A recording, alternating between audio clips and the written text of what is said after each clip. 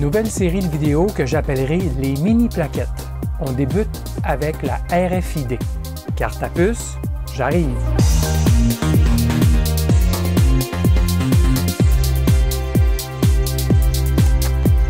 Bidouilleuse, bidouilleur, salut.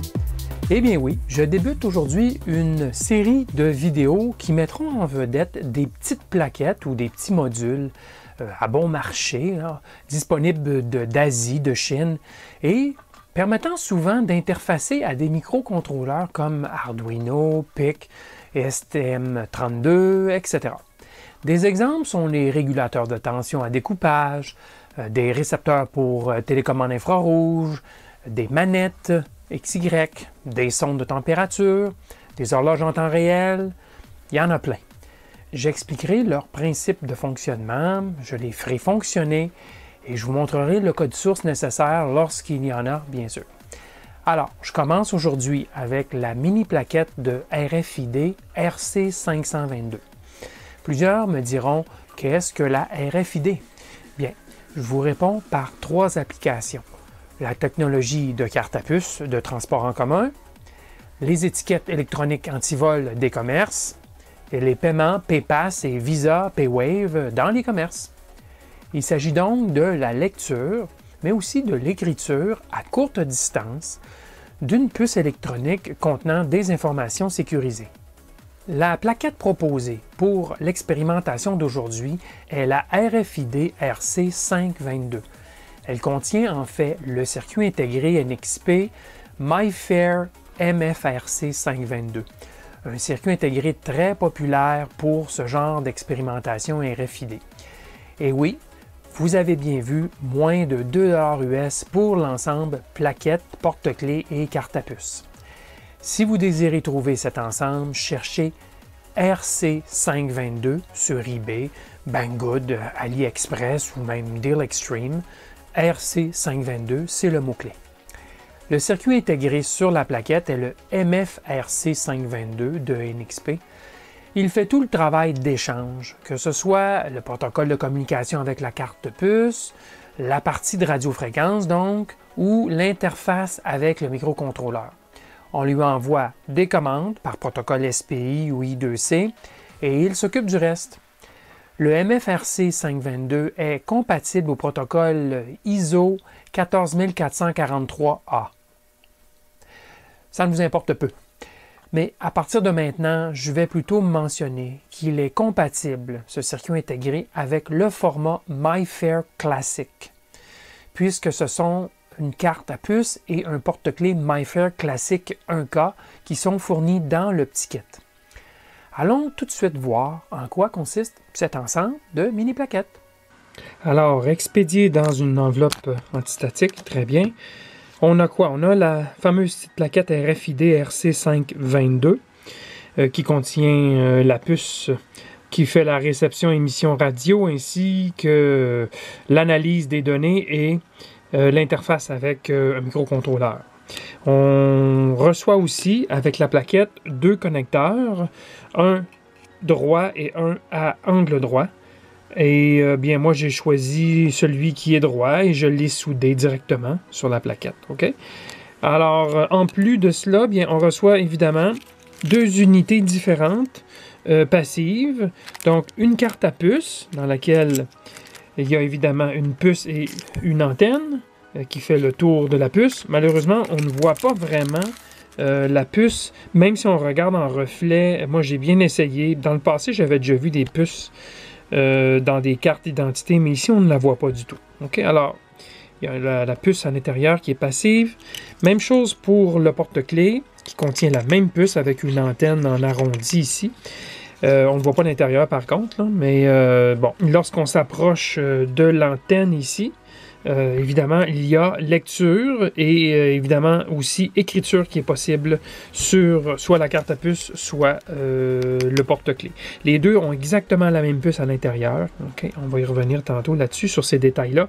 Alors, ça, c'est comme ça que c'est fait. On se positionne tout près et le transfert se fait, la lecture se fait.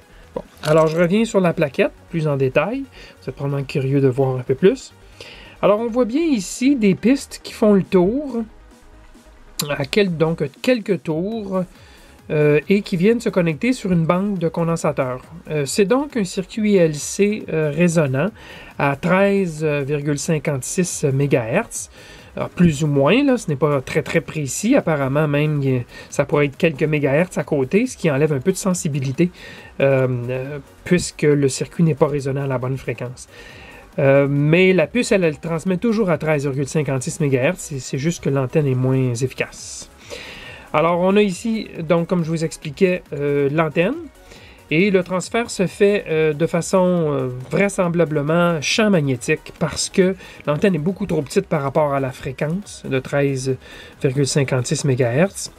et donc, c'est fort probablement par champ magnétique que le transfert se fait. Vous allez voir d'ailleurs que si je mets la carte à angle droit, ça ne se transfère pas.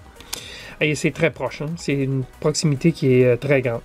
On parle d'une distance maximale de, je crois, de 5 cm euh, pour la puce, avec des conditions idéales sur l'antenne. Et elle, euh, la carte et le porte-clés, ils disent, la puce qui est à l'intérieur, ils disent un maximum de 10 cm. Alors, bon, moi, je vais aller voir que ce n'est pas beaucoup. On va l'essayer tantôt. Donc, il y a un cristal à 27,120 MHz juste ici, qui est deux fois la fréquence euh, de 13,56 MHz. Et donc, c'est la référence de la puce. Et euh, bon, à part quelques autres petites résistances et du filtrage, bien, ça se résume pas mal à ça pour la plaquette. Euh, la puce et une antenne. en dessous, il n'y a strictement rien sauf des pistes pour faire des connexions. Bon, la plaquette, elle s'alimente avec 3,3 volts. OK? Il ne faut pas mettre 5 volts euh, sur la plaquette. La, puce, le circuit intégré, n'est pas capable de prendre cette tension. Alors, c'est de faire bien attention, là. 3 euh, volts. Euh, la modulation utilisée est apparemment ASK, donc modulation par changement d'amplitude. c'est une modulation numérique, évidemment, qui est envoyée sur, sur le lien radio. Bon, et vous aurez aussi compris que la puce à l'intérieur de la carte et du porte-clés, bien, prend son alimentation du champ magnétique, fait un redressement et c'est suffisant pour alimenter la puce à l'intérieur. Assez euh, fantastique quand on y pense. C'est vraiment un circuit actif, donc il y a une puce, il y a un circuit intégré à l'intérieur. Et tout se fait de façon passive. Donc c'est pour ça que la proximité doit être assez grande pour qu'il se développe assez de tension pour alimenter euh, la puce à l'intérieur de la carte euh, ou du porte-clés. C'est le même principe. Autre chose à mentionner, c'est que la plaquette s'interface euh, au microcontrôleur euh, par euh, port SPI. La puce elle-même, le MFRC 522, peut supporter SPI, I2C et UART, mais la plaquette, elle, l'a configuré pour du SPI. Donc, c'est à se rappeler. Et une autre chose euh, que j'ai oublié de vous mentionner sur euh, euh, les cartes, c'est des détails exactement sur le modèle. Alors, c'est une carte à puce et un porte-clés du type MyFair classique 1K. Il y a donc 1 kilo-octet de mémoire à l'intérieur au total. Et on va voir que cette mémoire-là, on peut l'écrire. On peut écrire des données qui vont se conserver. Il y a de la mémoire EEPROM dans les deux. Pour ce qui est de voir le contenu de la carte à l'intérieur, ben, on va le faire tantôt. On va vraiment euh, lire tout ce qu'il y a à l'intérieur. On va même faire un essai d'écriture, vous allez voir. Alors, pour contrôler la plaquette RFID RC522, je vais utiliser un Arduino Uno, hein, pourquoi pas, puisque les librairies pour contrôler le MFRC 522, eh bien, elles sont déjà toutes définies dans euh, Arduino IDE pour euh, le Arduino Uno. Alors, euh, dans des cas comme cela, lorsque le protocole d'échange est assez complexe entre la puce et un microcontrôleur, pourquoi réinventer la roue? Les routines ont déjà été toutes développées, les fonctions, on ne se casse pas la tête, on utilise ce qui a déjà existant. Sinon, il faudrait redévelopper à zéro et croyez-moi, avec euh, cette puce, c'est assez complexe. Il y a quand même toute une histoire d'authentification, puis donc, c'est trop compliqué de réécrire. Ça existe déjà, on l'utilise. Alors, pour installer la librairie de fonctions MFRC 522, bien, on ira dans Sketch, tout simplement. On ira dans Include Library et on va dans Manage Libraries. Et de là, c'est une fenêtre qui nous est ouverte ici pour nous montrer justement toutes les librairies qu'on peut installer, y compris euh, la librairie MFRC 522. Alors si je tape 522, je trouve tout de suite la librairie en question. Et si je clique dessus, ben, dans mon cas, elle est déjà installée. J'ai donc pas le, choix de le faire à nouveau. Mais sinon, vous n'avez qu'à cliquer Install et puis le tout va s'installer. Ce qui ajoutera des exemples euh, de code. Alors si je viens ici et je vais dans Exam, Examples, j'ai déplacé la capture d'écran vers le bas pour que vous puissiez voir le bas du, menu parce qu'il est très long. Alors si je vais dans le bas, voici les exemples qui ont été ajoutés et regardez toutes les fonctions qui sont disponibles pour euh, euh, lire et contrôler la puce MFRC 522. Alors aujourd'hui, je vais vous en montrer deux. On va d'abord faire dump info, donc on va lire le contenu complet euh, de nos cartes à puce, cartes à puce et porte-clés, et par la suite, on va lire et écrire quelque chose de nouveau sur la puce. Et il y en a bien sûr d'autres, euh, donc c'est à essayer, à expérimenter. Alors, on va utiliser dump info, donc euh, lire toute l'information sur la puce. Et pour l'interfacer, cet Arduino IDE, bien, on va utiliser les broches qui sont marquées ici, dans la table la plaquette euh, MFRC 522 et euh, les différents signaux qui sont disponibles sur le connecteur, ainsi que la plaquette Arduino Uno et ses broches. Donc, on aura donc 5 fils, plus alimentation 3.3, évidemment, et la masse. Et c'est ce que je vous montre ici, dans le bas. Alors, les 5 fils nécessaires, ainsi que les deux fils d'alimentation entre la plaquette, telle que indiquée ici sur les broches, et les broches indiquées ici, bien sûr, sur euh, la table. Une fois ces cinq branchements-là faits, on n'a qu'à télécharger ce sketch, donc ce code source, et le tout va fonctionner. Le code source fait très simplement la lecture de tout ce qu'il y a sur la carte et nous la met à l'écran, euh, cette information-là qui est trouvée sur la carte. Alors, j'ai téléchargé le sketch euh, Domp Info dans l'Arduino IDE et euh, je suis prêt à opérer. L'Arduino et évidemment la plaquette RFID RC522 sont en attente d'un scan euh, euh, d'une carte. Donc, si j'approche la carte, vous voyez tout de suite que la lecture se fait.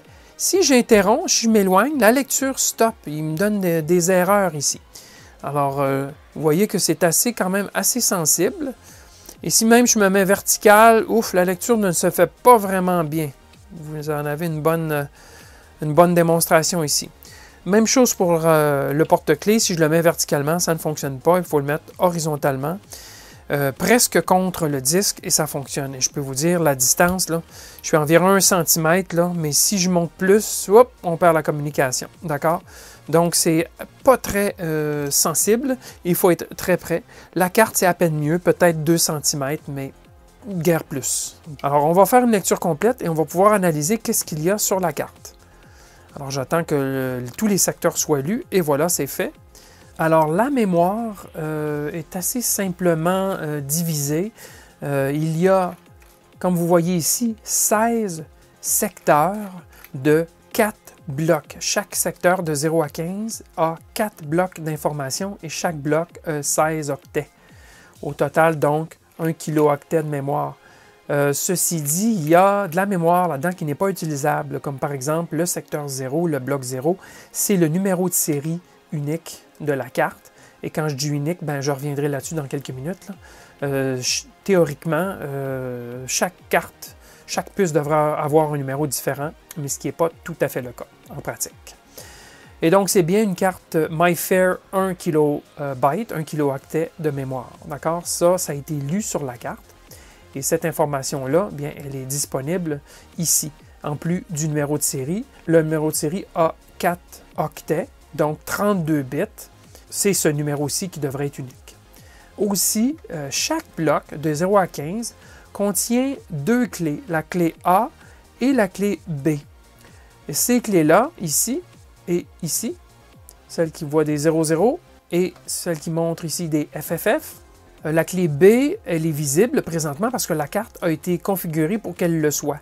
La clé, par défaut, sur toutes les cartes, c'est euh, donc 255, 255, 255, ainsi de suite. Donc FF, FF, FF en hexadécimal. Euh, la clé A ici, on voit des zéros, c'est qu'elle n'est pas visible, n'est jamais visible, la, clé A. On peut écrire une nouvelle clé, mais on ne peut pas la lire. Euh, c'est justement euh, une caractéristique de sécurité. Alors, lorsque la comparaison se fait, on envoie une clé et l'authentification se fait en comparant la clé cachée avec la clé qu'on a envoyée. Et je peux vous le dire, par défaut, ici, c'est aussi FFF, mais on ne le verra jamais. D'accord? Alors, c'est comme ça que l'authentification fonctionne. On pourrait faire la même chose avec la clé B ici, mais euh, elle est présentement configurée sur la carte pour être visible. Alors ça, c'est comment les clés fonctionnent. Et partout ailleurs, incluant la clé B si on ne s'en sert pas, on peut écrire ce que l'on veut, de l'information pertinente sur le client, sur la tarification, sur le nombre de fois que l'abonné a par exemple passé euh, le guichet ou peu importe. C'est de l'espace disponible pour l'usager pour sauvegarder de l'information. Alors, vraiment, en gros, là, on va laisser faire les bits d'accès et ainsi de suite. Vous pouvez lire la documentation de la carte, euh, de la carte à puce, là, euh, pour comprendre les différents champs, mais essentiellement, c'est comme ça que ça fonctionne. Alors maintenant, ce qu'on va faire, c'est qu'on va euh, lire le contenu de la carte et modifier une zone sur la carte. Alors, ce que Read and Write, euh, qui est fourni évidemment dans la série d'exemples de sketch là, pour toujours la même fonctionnalité, bien, ce qu'on va faire, c'est qu'elle va remplacer un, bloc de données, donc à l'adresse bloc 4, secteur 1, va remplacer les zéros par des FFFFFFF. Donc, une ligne complète va devenir 255, 255, 255 dans les octets. D'accord? Alors, ici, puisqu'on veut écrire, ben, évidemment, il y a tout l'aspect aussi d'authentification qui est fait ici. Et c'est déjà inclus ça dans les différentes fonctions de Read and Write. Alors le sketch va exécuter une lecture d'abord euh, et ensuite, il va euh, passer à travers les différentes étapes pour écrire les données sur la carte. Et évidemment, on restera sur euh, la plaquette, donc en contact ou tout près, le temps de l'écriture. Vous allez voir, c'est quand même assez rapide. Et par la suite, bien, le code relie la carte pour être certain que la donnée a bel et bien été écrite. Donc, on y va. Je vous remontre à nouveau l'information. Alors, je vais prendre la puce ici. Vous saviez, c'était des zéros partout. Alors, je glisse ici. Et voilà, on a eu la démonstration. Il a lu ici le secteur 1. Euh, Et on en voit bien que la ligne 4, ici, c'est bien des zéros. D'accord? Et il a par la suite écrit le bloc 4 avec la nouvelle donnée et il a relu pour confirmer que c'est bien rendu des F partout. Donc, évidemment, ici, on affiche des codes hexadécimaux. Vous auriez pu mettre des codes ASCII et vous auriez pu faire afficher des caractères, faire écrire des phrases, des choses comme ça. Ça, il n'y a pas de problème. Donc, vous pourriez développer du code qui, par exemple, lit le numéro de série de la carte au départ. D'accord? Ça, c'est au clair, hein? c'est en clair. Ce n'est pas caché. Le numéro de série est toujours lisible, toujours disponible.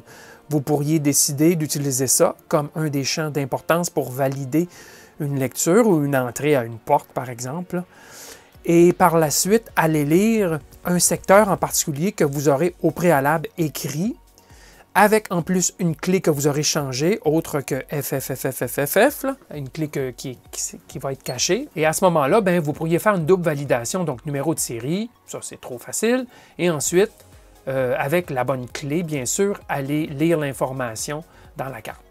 Alors, c'est comme ça que ça augmente évidemment euh, la sécurité, euh, donc la validation d'une identité, par exemple. il ne faut pas oublier non plus que tout ça, la transaction, elle est encryptée.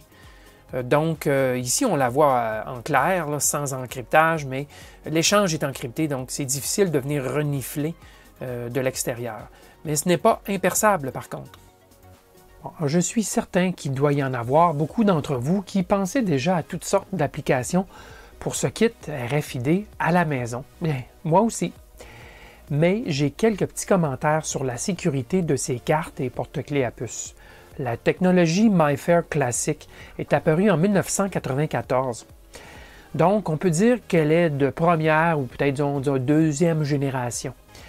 D'ailleurs, la technologie MyFair classique n'est plus considérée sûre depuis environ 10 ans, car il est possible assez facilement de percer le chiffrage et de lire ou cloner une carte. Mais pour l'amusement et pour la maison, bof. Hein? Aujourd'hui, la plupart des entreprises utilisent des technologies beaucoup plus solides et plus difficiles à percer. Aussi, les UID, c'est-à-dire les numéros de série des cartes MyFair classiques, comme on a vu tantôt, ben, ils ne sont plus désormais uniques. Leur codage sur 32 bits permet environ 4 milliards de valeurs possibles, mais NXP affirme avoir vendu plus de 10 milliards de puces MyFair. Il y a donc potentiellement des doublons. En plus, il existe des clones d'origine chinoise compatibles avec les produits MyFair, dont les numéros de série sont probablement assignés aléatoirement ou séquentiellement eux aussi. Et compte tenu du prix de l'ensemble montré aujourd'hui, moins de 2 cette carte à puce et ce porte-clés sont fort probablement des copies de MyFair. Qu'importe, on s'amuse, c'est ça qui compte. Notez finalement que le circuit intégré MFRC 522 peut négocier avec d'autres modèles de cartes à puce des modèles un peu plus sûrs que les puces classiques. Alors voilà, je ne m'attarderai pas plus longtemps sur cette mini plaquette, intéressante, mais même fascinante. Si vous voulez approfondir le sujet, je vous référerai aux fiches techniques du circuit intégré et de la puce MyFair Classic. Je vous fournis le lien vers celle-ci dans la description sous cette vidéo. J'aimerais en terminant remercier les mécènes qui me supportent par l'entremise de dons sur Patreon ou directement sur PayPal. À l'aide de ces dons, je me procure le matériel montré dans mes vidéos, ce qui enrichit évidemment le contenu. Donc merci à vous tous, merci de continuer de me suivre et à la prochaine.